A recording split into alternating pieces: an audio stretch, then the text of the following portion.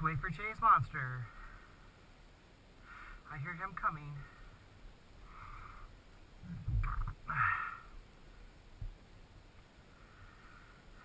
Should be coming through any minute. There he is. He's not too far behind Papa.